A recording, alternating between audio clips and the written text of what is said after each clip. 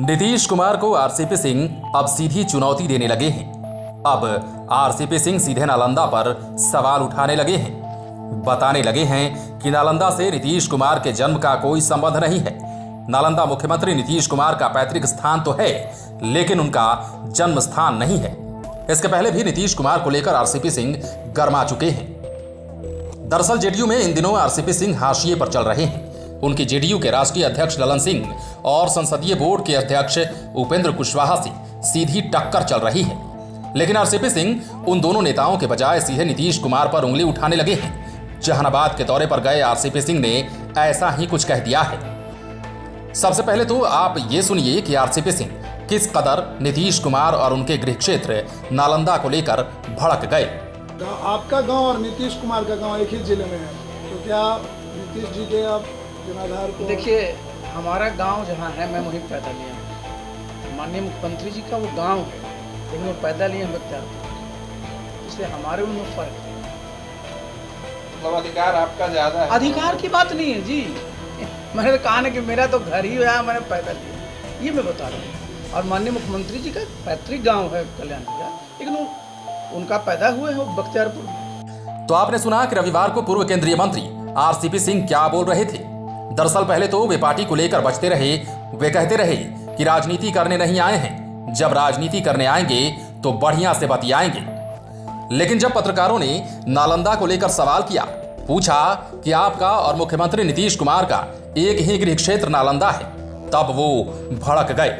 RCP Singh ने कहा कि मेरा घर नालंदा ज़िले में है और मेरा जन्म भी नालंदा में हुआ है, लेकिन मुख्यमंत्री नीतीश कुमार का जन्म बख्तियारपुर में हुआ है। उनका पैतृक घर भले ही नालंदा में हो सकता है, लेकिन नीतीश कुमार का जन्म स्थान बख्तियारपुर है। उन्होंने यह भी संकेत दिया कि वे भविष्य में खुलकर राजनीति करेंगे।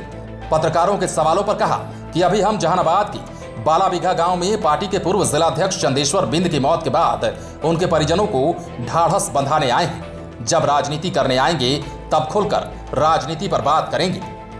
दरअसल ये पहली बार नहीं हुआ है कि जब आरसीपी सिंह इस कदर नीतीश कुमार को लेकर गर्म हो गए हैं, इसके पहले वे जमुई में गए थे, तब उन्होंने नीतीश कुमार के हनुमान कहे जाने पर काफ़ी कुछ कह दिया था। आरसीपी सिंह ने पत्रकारों को हिदायत देते हुए कहा था कि आप नोट कर लीजिए, मैं किसी का हनुमान नहीं हूँ, मेरा नाम रामचंद्र प्रसाद सिंह है और मैं किसी का हनुमान नहीं।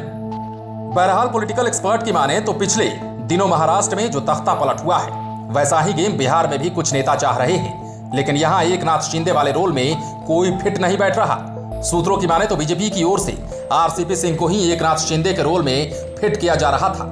लेकिन नीतीश कुमार ने इसे भापते हुए पहले ही उनका पत्ता साफ़ कर दिया।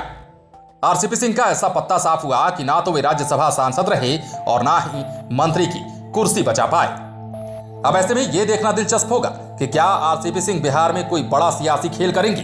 दरअसल आरसीपी सिंह जब काफिला लेकर जहानाबाद पहुँचे तो उनके सामने ही नारा लगने लगा कि बिहार का सीएम कैसा हो, आरसीपी सिंह जैसा हो। बिहार का सीएम कैसा हो, आरसीपी बाबू जैसा हो।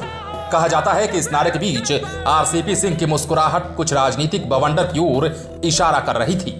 ऐसे में इंतज़ार करने में ही भलाई है, जब तक कि कोई राजनीतिक बवंडर नहीं मच जाता है। लाइव सिटीज़ के लिए पटना से राजेश ठाकुर की रिपोर्ट।